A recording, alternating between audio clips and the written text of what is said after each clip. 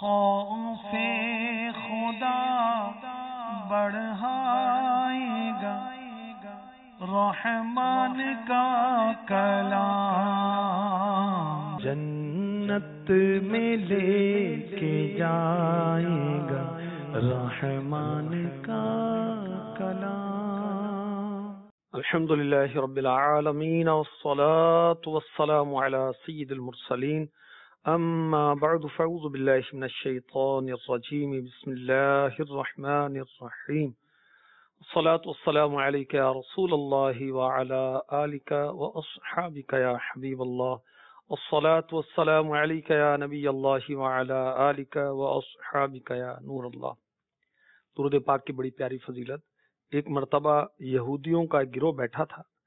ایک مسلمان فقیر نے آ کر سوال کیا اتفاقاً مولا مشکل کشا علی المرتضی شیر خدا سید الاولیاء کرم اللہ تعالی وجہ الکریم بھی تشریف فرما تھے۔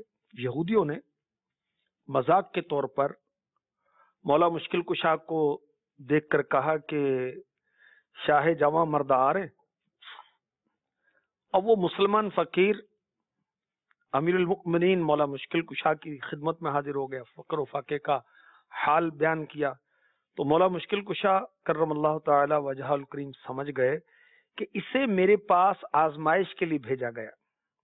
بظاہر آپ کے پاس کچھ نہیں تھا۔ لیکن مولا مشکل کشا کرم اللہ تعالی وجہ الکریم نے اس کا ہاتھ پکڑا اور دس مرتبہ درود پاک پڑھ کر دم کر دیا۔ اتیلی پر جیسی دم کیا تو فرمائے مٹھی بند کر لو۔ کفار ہنس رہے تھے کہ پھونک مارنے سے کیا ہوگا؟ اس فقیر نے ہاتھ بند کیا، مٹھی بند کی۔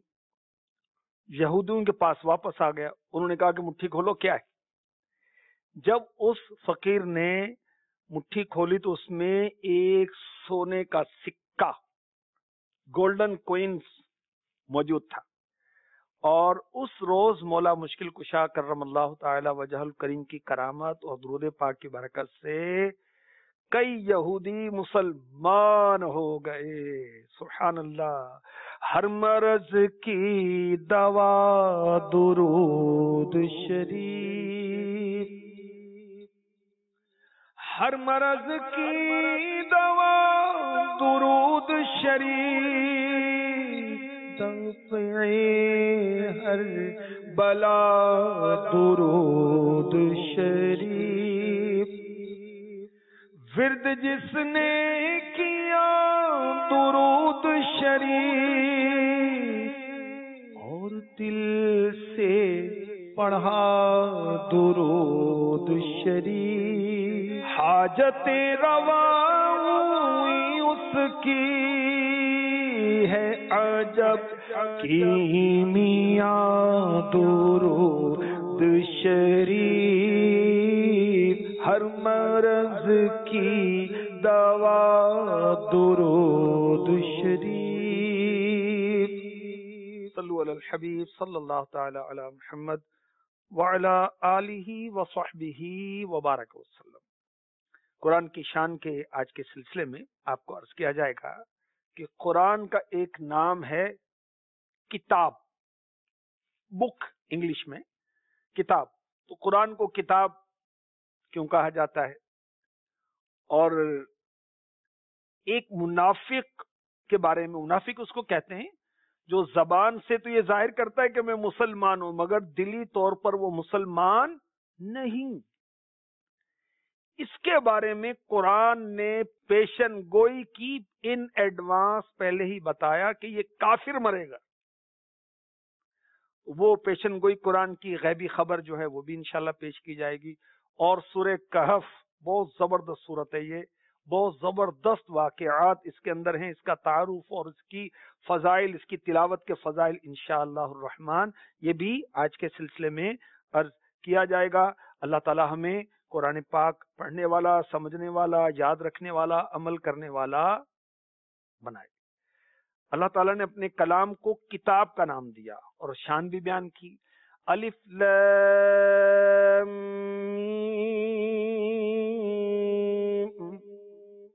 ذلك الكتاب لا ريب فيه هدى للمتقين وہ بلند رتبہ کتاب یعنی قرآن کوئی شک کی جگہ نہیں اس میں ہدایت ہے ڈر والوں کو قرآن کی شان میں تفصیل نعیمی کی پہلی جلد میں ایک بہت پیاری بات زبردست بات لکھی ہے، وہ آپ کو پیش کرتا ہوں، انشاءاللہ ایمان تازہ ہوگا۔ مفتی احمد یار خان نعیمی رحمۃ اللہ تعالی علیہ نے تفسیر نعیمی میں روح البیان کے حوالے سے لکھا کہ توریت شریف، یہ نازل ہوئی تھی حضرت موسیٰ علیہ السلام پر، یہ بھی آسمانی کتاب ہے۔ اس توریت شریف میں کتنی صورتیں تھیں؟ ایک ہزار ون تھاؤزینڈ اور ہر صورت میں آیتیں کتنی تھیں؟ ایک ہزار۔ حضرت موسا کلیم اللہ علیہ نبی ولی سلاۃ اسلام نے رب کی بارگاہ میں عرض کی کہ اس کتاب کو کون پڑھ سکے گا؟ ایک ہزار صورتیں اور ہر صورت میں ایک ہزار آیتیں۔ حفظ کون کر سکے گا؟ اللہ تبارک و تعالی نے ارشاد فرمایا، اس سے اعلی شان والی کتاب نازل کروں گا یعنی قرآن۔ اور اپنے آخری نبی پر، اپنے محبوب پر اتاروں گا۔ لیکن اس کتاب کی شان یہ ہوگی کہ اس امت کے بچے بھی حفظ کر لیں گے۔ سبحان اللہ۔ کل آسمانی کتابیں ایک سو تیس اتری تفسیر البیان شریف میں ہے۔ پچاس صحیفے حضرت شیس علیہ السلام پر، تیس حضرت ادریس علیہ السلام پر، بیس صحیفے حضرت ابراہیم علیہ السلام پر توریت حضرت موسیٰ علیہ السلام پر، زبور حضرت داؤد علیہ السلام پر، انجیل حضرت عیسیٰ علیہ السلام پر۔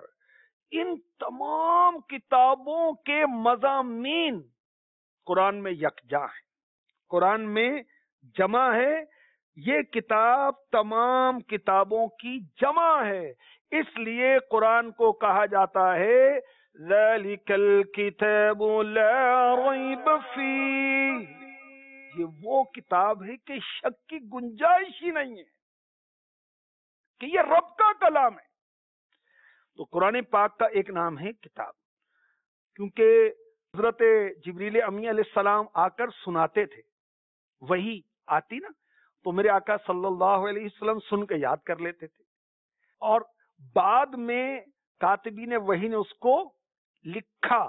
پھر صدیق اکبر نے فاروق اعظم کے مشورے کے ساتھ جمع کیا۔ پھر عثمان غنی نے مختلف نسخے اس کے پوری دنیا میں جہاں جہاں مسلمان تھے، وہاں بھجوائے۔ اس لیے ان کو جامع القرآن عثمان غنی کو کہا جاتا ہے۔ تو قرآن پہلے نازل ہوا اور پھر کتابی صورت میں بھی آیا اور لوہے محفوظ جہاں سب کچھ ہے، وہاں بھی لکھا ہوا ہے۔ تو لفظ قرآن میں تلاوت بھی ہے اور لفظ کتاب میں قلم سے لکھے کا مفہوم بھی ملتا ہے۔ اللہ کی شان دیکھیے، اللہ تعالیٰ نے اپنی اس کتاب قرآن کی حفاظت دونوں طریقے سے کی۔ قرآن سینوں میں محفوظ ہے۔ اگر بالفرض قرآنی نسخے مصرف شریف نہ ملے تو سینوں میں بھی ہے نا۔ اور اگر کوئی حافظ نہ ملے تو کتاب بھی موجود ہے۔ سبحان اللہ۔ ذالک الکتاب لا ریب فی۔ جو عقل رکھتا ہے نا، اس کو جو انصاف رکھتا ہے، یہ چیز یقین کرنے پر مجبور کر دیتی یہ کتاب حق ہے۔ یہ کتاب اللہ ہے، یہ منزل من اللہ ہے، اس میں شک کی گنجائش نہیں۔ اور یہ پاک کلام اللہ پاک نے اپنے محبوب پر نازل کیا اور اللہ تعالی کے محبوب صلی اللہ علیہ وسلم اسے اپنے صحابہ کو سکھاتے تھے۔ اور کتنی پیاری کتاب ہے، کتنی شان والی کتاب ہے کہ کلام کس کا ہے؟ خالق کائنات کا، رب العالمین کا لوہے محفوظ پر لکھا ہوا ہے۔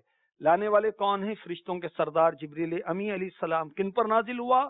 نبیوں کے سردار پر۔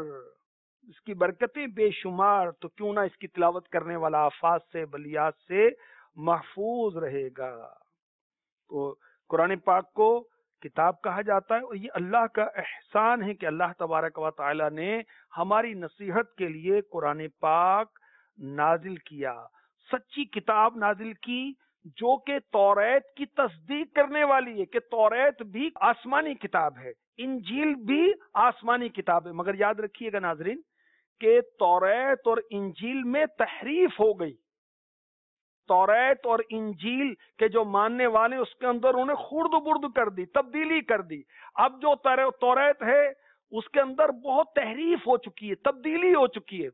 اس میں جو قرآن کے موافق ہے، ہماری شریعت کے مطابق اس کو ہم مانتے ہیں، جو اس کے علاوہ نہیں ہے، اس کو نہیں مانتے۔ ٹھیک ہے؟ تو توریت اور انجیل کی تصدیق بھی قرآن پاک میں موجود ہے۔ سورہ آل عمران کی آیت نمبر تین میں اس کو ذکر کیا گیا۔ نزل علیک الكتاب بالحق مصدقا لما بین یدیہ وانزل التورات والانجیل۔ اس نے تم پر یہ سچی کتاب اتاری، اگلی کتابوں کی تصدیق فرماتی، اور اس نے اس سے پہلے توریت اور انجیل اتاری۔ اس کتاب قرآن جو رب کا کلام ہے، اس میں دو طرح کی آیات ہیں۔ بعض آیات ایسی کہ آسان مفہوم ہیں، آسان معنی ہیں، سمجھ میں آ جاتے ہیں۔ اور بعض ایسے ہیں کہ ہر ایک نہیں سمجھ سکتا۔ اور بعض ایسے ہیں کہ وہ اللہ اور اس کے رسول کے درمیان راز و نیاز ہیں۔ اس کو کہتے ہیں حروف مقطعات، جیسے الف، لام، میم، اس کا ترجمہ۔ اللہ جانے، اس کا حبیب جانے، جبریل امی علیہ السلام کو بھی معلوم نہیں۔ ہا میم، اس کے کیا معنی اللہ جانے، اس کا رسول جانے۔ کاف، ہا، یا، عین، صاد، اس کے معنی اللہ جانے، اس کا حبیب جانے۔ اور قرآن پاک، سبحان اللہ، میرے رب کا کلام، اور یاد رکھیے کہ وہی نازل ہوتی ہے صرف نبیوں پر۔ اور یہ قرآن پاک اللہ کی سچی کتاب، کہ جو لوگوں میں فیصلہ کریں، تو قرآن کے مطابق کرنے کا حکم ہے۔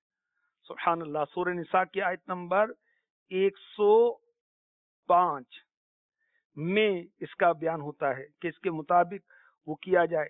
اور اسی طرح سورہ نساء کی آیت نمبر سینتالیس میں قرآن کی شان بیان کی گئی اور قرآن پر ایمان لانے کا اللہ پاک نے حکم دیا۔ يا أيها الذين أوتوا الكتاب آمنوا بما نزلنا مصدقا لما معكم من قبل أن نطمس أن نطمس وجوها فنردها على أدبارها أو نلعنهم أو نلعنهم كما لعنا أصحاب السبت. وکان امر اللہ مفعولا۔ اے کتاب والو، ایمان لاؤ۔ یہودی اور عیسائی، یہ کتاب والے ہیں نا توریت اور انجیل نازل ہوئی۔ اے کتاب والو، ایمان لاؤ، اس پر جو ہم نے اتارا، تمہارے ساتھ والی کتاب کی تصدیق فرماتا۔ قبل اس کے کہ ہم بگاڑ دیں کچھ منہوں کو، تو انہیں پھیر دیں، ان کی پیٹ کی طرف، یا انہیں لانت کریں، جیسی لانت کی ہفتے والوں پر اور خدا کا حکم ہو کر رہے۔ یہ یہودیوں کے بارے میں نازل ہوئی۔ ایمان لے آئیں۔ نہیں لائیں گے؟ یہ قرآن پر ایمان نہیں لائیں گے؟ تو ان کے چہروں سے آنکھ، ناک، کان، ابرو مٹا کر شکل بگاڑ دی جائے گی۔ اللہ کی پناہ۔ جب یہ آیت نازل ہوئی تو حضرت عبداللہ بن سلام رضی اللہ تعالی عنہ یہودیوں کے عالم تھے۔ ملک شام سے واپسی پر انہوں نے راستے میں یہ آیت سنی۔ تو گھر پہنچنے سے پہلے اسلام نہ کر حضور کی خدمت میں حاضر ہو گیا عرض کی، یا رسول اللہ، میں نے خیال کرتا تھا کہ میں اپنا منہ پیٹ کی طرف پھر جانے سے پہلے، چہرے کا نقشہ مٹ جانے سے پہلے آپ کی خدمت میں حاضر ہو سکوں گا۔ یعنی مجھے یہ خوف تھا کہ کہیں ایسا نہ ہو کہ حضور کی بارگاہ میں حاضر ہونے سے پہلے میرا چہرہ بگاڑ دیا جائے۔ کیونکہ یہاں فرمایا جا رہا ہے۔ تو، اور ایمان لانے میں جلدی کی۔ کیونکہ توریت شریف میں میرے اکالی صلاحت اسلام کے اوصاف اور خوبیاں بیان کر دی گئی تھی۔ حضرت کاب الاحبار رضی اللہ تعالی عنہ بہت بڑے عالم تھے، یہودیوں کی کسی رات انہوں نے یہ آج سنی کہ کتاب والوں کو ایمان لانے کا کہا گیا تو خوف زدہ ہو گئے اور فاروق اعظم کی خدمت میں حاضر ہو کر مسلمان ہوئے۔ اس پاکیزہ کلام جس کو کتاب بھی کہا، اللہ تعالی نے اس کی شان یہ ہے کہ جو اس کا مذاق اڑائے گا، اللہ تعالیٰ اس کو جہنم کی سزا دے گا۔ اور اس کتاب کی، کلام اللہ کی، کتاب اللہ کی، قرآن پاک کی، قرآن عظیم کی، قرآن مجید کی، قرآن کریم کی، یہ شان ہے کہ اس میں احکامات ہیں۔ اس میں اللہ تعالیٰ نے بندوں کو فرمایا نہیں یعنی ان ان کاموں سے رکنا ہے۔ جنت کا وعدہ ہے، جہنم کی وعیدات ہیں، حق و باطل کا فیصلہ ہے۔ میرے اکالی سلاط اسلام اللہ کے سچے رسول ہیں، اس کا بیان ہے اور کفار کے افطرا کا بیان ہے۔ قرآن یہ میرے رب کا کلام ہے۔ حکمت والی آیتیں ہیں، ہدایت ہے، رحمت ہے۔ اور اس کتاب کے وارث کون ہیں؟ علماء۔ علماء حق کا عاشقان رسول، علماء۔ اللہ ہمیں قرآن کی محبت نصیب فرمائے۔ قرب خدا دلائے گا رحمان کا کلام۔ جنت میں لے کے جائے گا رحمان کا کلام۔ آئے فرشتے گھر میں کرو شیطان کو بھگائے گا رحمان کا کلام۔ شیطان کو بھگائے گا رحمان کا کلام۔ فرحت تجھے دلائے گا رحمان کا کلام۔ رتبہ بہت بڑھائے گا رحمان کا کلام۔ حب خدا بڑھائے گا رحمان کا کلام۔ جس کو پڑھیں گے، سمجھیں گے تو انشاءاللہ اللہ رسول کی محبت پیدا ہوگی، آخرت کی محبت پیدا ہوگی۔ اس سلسلے کا دوسرا سیگمنٹ قرآن کی غیبی خبریں۔ قرآن پاک نے جن غیبی خبروں کی طرف توجہ دلائی، وہ پوری ہو کر رہیں اور ان غیبی خبروں میں سے ایک غیبی خبر، ایک منافق کے بارے میں قرآن نے دی۔ چنانچہ سورہ توبہ کی آیت نمبر انچاس، فورٹی نائن میں اس کے بارے میں بتایا گیا کہ یہ کافر مرے گا۔ تو ایسا ہی ہوا، جو قرآن نے خبر دی وہ درست۔ کیا ارشاد ہوا؟ وہ من ولا تفتنی الا فی الفتنة سقطوا وَإِنَّ جَهَنَّمَ لَمُحِيطَةٌ بِالْكَافِرِينَ اور ان میں کوئی آپ سے یوں کہتا ہے مجھے رخصت دے دے، مجھے فتنے میں نہ ڈالیں۔ سن لو، یہ فتنے ہی میں پڑے ہوئے ہیں اور بے شک جہنم کافروں کو گھیرے ہوئے ہے۔ یہ منافق تھا، اس کا نام تھا جد بن قیس۔ اس نے کوئی بہانہ لگایا غزبہ تبوک میں نہ جانے کے تعلق سے۔ تو رب کے کلام نے بتایا کہ یہ فتنے میں پڑا ہوا، یہ منافق ہے اور یہ کافر مرے گا اور جو قرآن نے کہا وہی ہو کر رہا اور یہ بحالت کفر ہی مرا۔ اللہ پاک ہمارا ایمان سلامت رکھے، ہمیں قرآن سے محبت نصیب فرمائے۔ اور اب اس سلسلے کا تیسرا سیگمنٹ ہے صورتوں کے فضائل۔ آپ کو انشاءاللہ قرآن پاک کی بہت ہی پیاری صورت کے تعلق سے عرض کرتا ہوں، سورہ کہف۔ کہف کا کیا معنی ہے؟ پہاڑ کی غار۔ پہاڑ کے اندر کچھ جگہ ہوتی ہے، اس کو غار کہتے ہیں۔ تو اصحاب کہف کا واقعہ ہے جو تین سو نو سال اللہ کے حکم سے سوتے رہے۔ ایمان والے تھے، ایمان کا تحفظ کرنے کے لیے جا کر غار میں سو گئے۔ اللہ کی شان دیکھیے، تین سو نو سال تک وہ سوتے رہے۔ سبحان اللہ، اس کا بہت زبردست واقعہ ہے۔ سورہ کہف کے اندر حضرت خضر علیہ السلام کا واقعہ بھی ہے۔ اور سورہ کہف یاد رکھی، جہاں تلاوت اس کی کی جاتی ہے سورہ کہف کی، تو وہاں سکون اور برکت نازل ہوتی ہے۔ حضرت برا بن عاصف رضی اللہ تعالی عنہ فرماتے ہیں، ایک مرتبہ ایک صحابی نے سورہ کہف کی تلاوت کی، تو گھر میں ایک جانور تھا، وہ بدکنے لگا۔ بدکنا اچھل کود کرنے لگا۔ تو انہوں نے سلامتی کی دعا کی۔ غور سے دیکھا، کیا بات ہے؟ تو انہیں ایک بادل، ایک کلاؤڈ نظر آیا۔ اور جس نے انہیں ڈھانپ رکھا تھا، ان صحابی نے واقعہ بارگاہ رسالت میں عرض کیا، تو میرے اکالی سلاط اسلام تو سبحان اللہ غیب کی خبریں دیتے ہیں، سب کچھ جانتے ہیں، اللہ کی عطا سے۔ آپ نے فرمایا، فلاں قرآن پاک کی تلاوت کرتے رہا کرو، وہ بادل سکینہ تھا یعنی اطمینان تھا جو تلاوت کی برکت سے نازل ہو رہا تھا، جو قرآن مجید کی وجہ سے نازل ہوا۔ میرے اکالی سلاط اسلام نے فرمایا، سورہ کہف کی ابتدائی دس آیات جو یاد کرے گا وہ دجال کے فتنے سے محفوظ رہے گا۔ سبحان اللہ۔ حضرت ابو سعید خدری رضی اللہ تعالی عنہ سے روایت نبی پاک صلی اللہ علیہ وسلم نے ارشاد فرمایا، جو شخص جمعے کے دن، فرائیڈے کو سورہ کہف کی تلاوت کرے گا، آئندہ جمعے تک، آنے والے فرائیڈے تک اس کے لیے خاص نور کی روشنی رہے گی۔ سبحان اللہ۔ تو بہت پیاری صورت ہے۔ قرآن پاک کے اوصاف اس میں بیان کیے گئے ہیں، جنت کی بشارتیں ہیں مسلمانوں کے لیے، اس صورت کے اندر، کافروں کے لیے جہنم کے عذابات ہیں۔ اور اصحاب کہف کا واقعہ میں نے عرض کیا۔ اور دنیا کی زندگی کی مثال اس صورت کے اندر ہے۔ اور آخرت میں کفار کے اعمال برباد اور ضائع ہوں گے، یہ بھی اعلان کیا گیا۔ نیک اعمال کرنے والوں کو ہمیشہ نعمتیں ملیں گی۔ یہ بھی اس صورت کے اندر بیان کیا گیا اور یہ بھی بیان کیا گیا کہ اللہ تعالیٰ کی علم کی کوئی حد نہیں کوئی انتہا نہیں۔ یا اللہ ہمیں کثرت تلاوت قرآن کی توفیق عطا فرما۔ امین بجاہ نبی امین صلی اللہ تعالی علیہ وسلم۔ خوف خدا بڑھائے گا رحمان کا کلام۔ جنت میں لے کے جائے گا۔ رحمان کا